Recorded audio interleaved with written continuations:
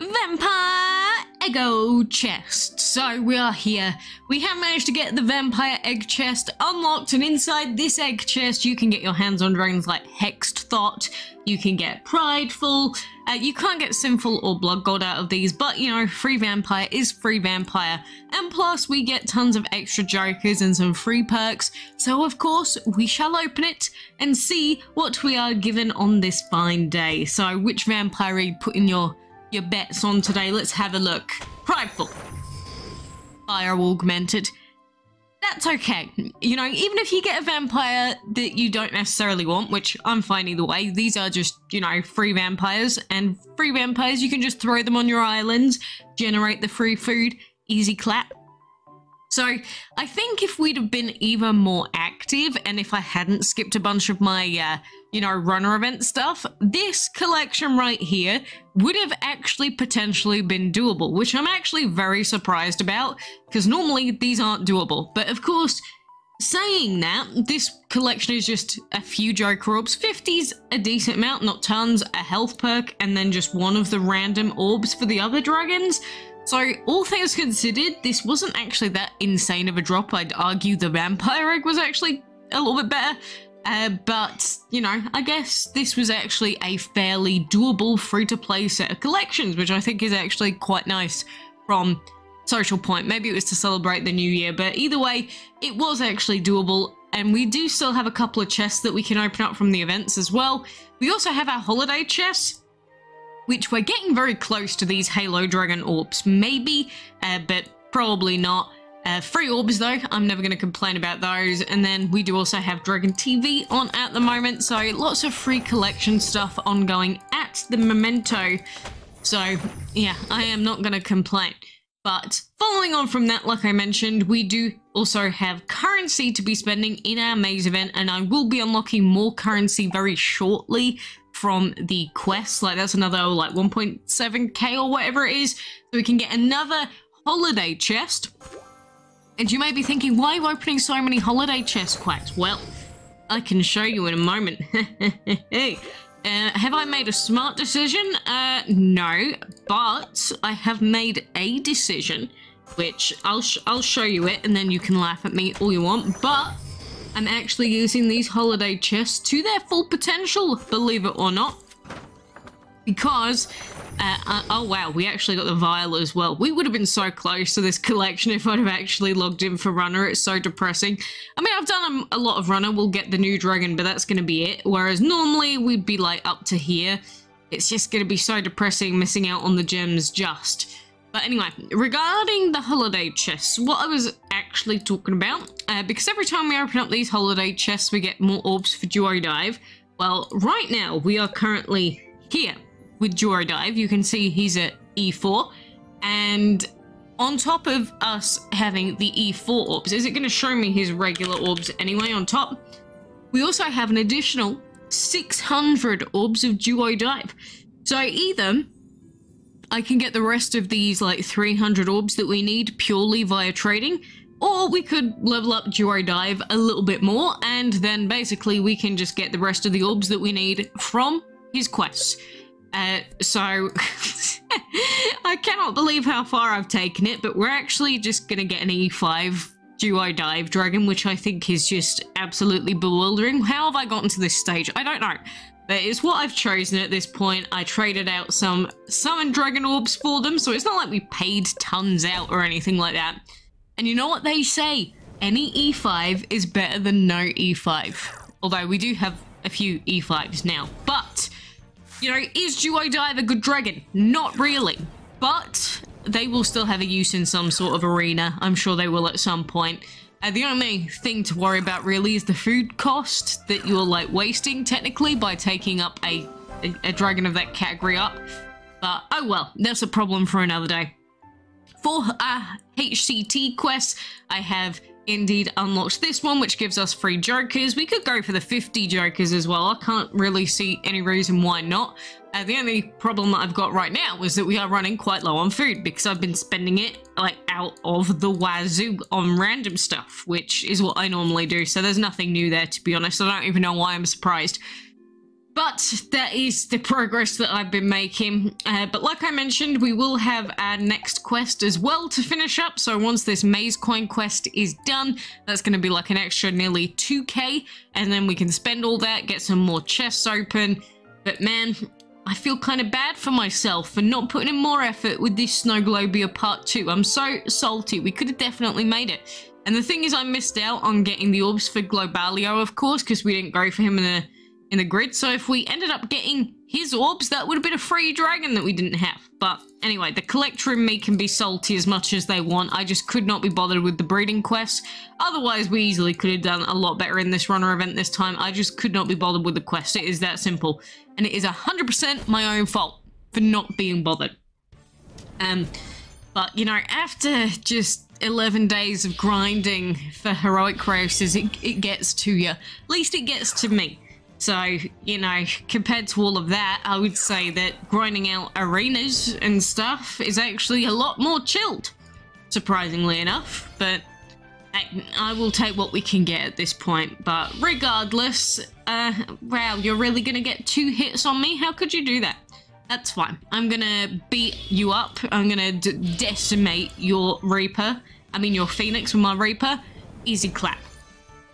And then we've of course got your boy that can just one-shot this this voodoo. Bye-bye! Bye-bye! Easy clap. But yeah, make sure that you've logged in for your daily insignias and for your New Year stuff. By the way, I did post about this, was it yesterday?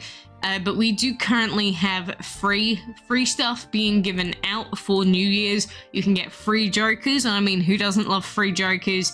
God, I do not like the look of this team. Uh, I probably could do it against these enemies, but I'm just not going to risk it. You know, I'm just going to keep going for more KOs, so we're going to throw in our low-level dragons. We're not going to risk it for this one. I'll take one battle deficit. It's fine.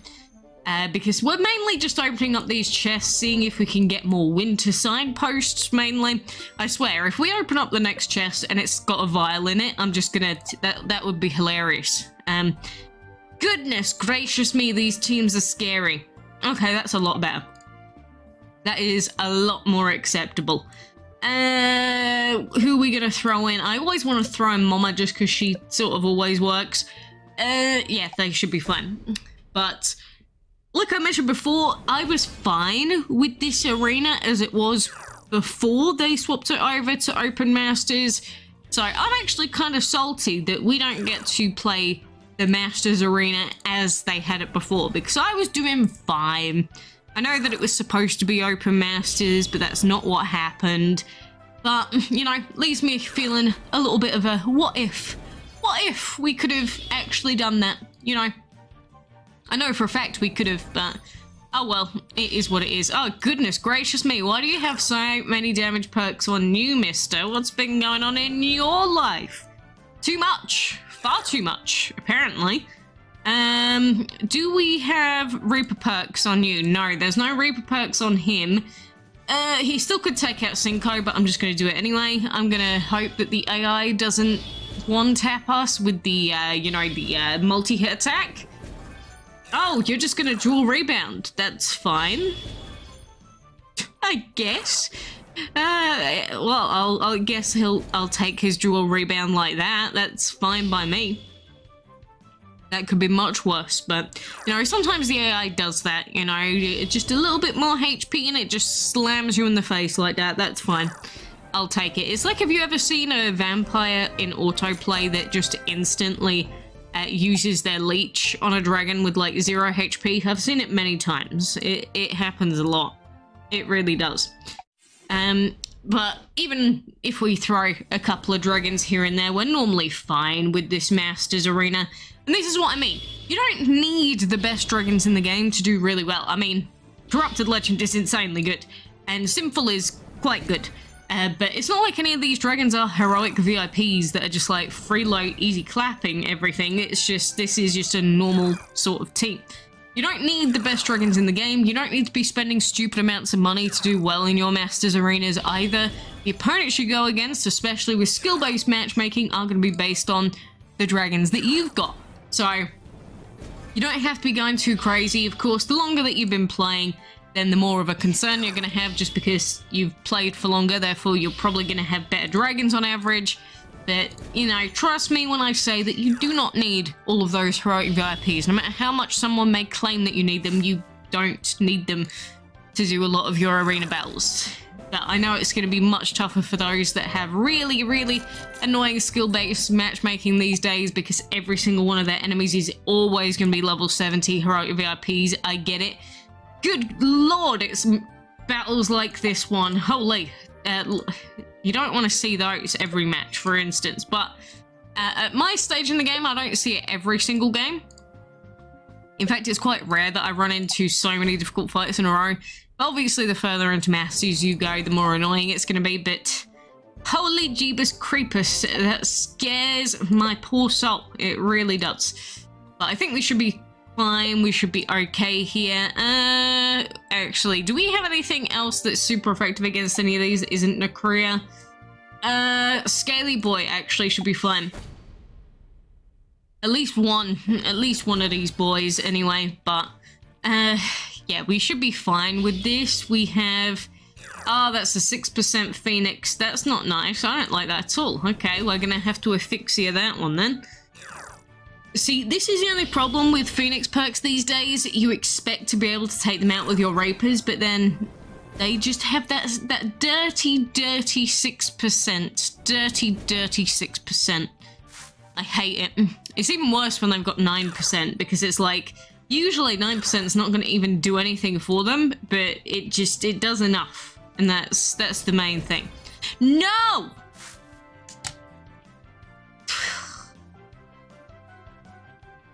Did you see me fat finger that?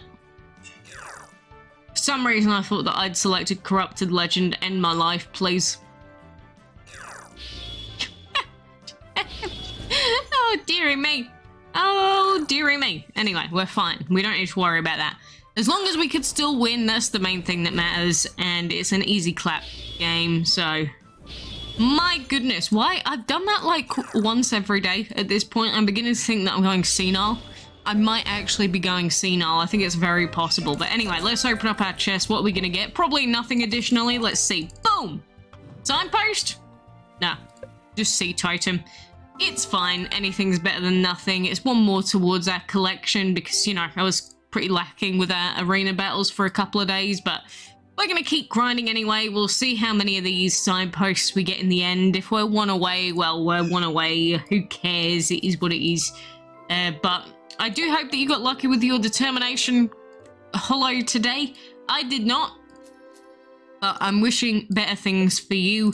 And then there's like nothing to breed. Oh, look, guys, it's Imp Dragon, the dragon that everyone wants because they can never be bothered to get enough dragons to be able to finish legendary rescues to get him normally. Oh, what a sad, sad reality we live in. But anyway, I'm going to be finishing off with the rest of my flight stamps in the runner event very shortly. I'm going to be logging in soon to finish off those quests. So we got a few things coming up and uh, we get enough food, maybe I'll take Duo Dive to 56 and get the bonus orbs, but it's, uh, it's an E5 Duo Dive coming up before you know it. Wow, it's the most pointless leveling up I'll have ever done in my life, but one bonus is that with Duo Dive, we can have both Duo Dive and Duo Destructor E5, and I think that's pretty cool just because they're both duo dragons. What if we take a third to e5? How cool would that be? You know what I actually need to do? I need to stop being stupid and just using my legendary jokers on Michonne, which I can do, because if I do all of this exclusively via trading, we can just take Michonne or Negan, even, to e5 during Empower Happy Hours, right? So, uh, yeah, I'm gonna do that at some stage, because we've got well, we're going to have 2,000 legendary Jokers soon enough because we're getting them from everywhere.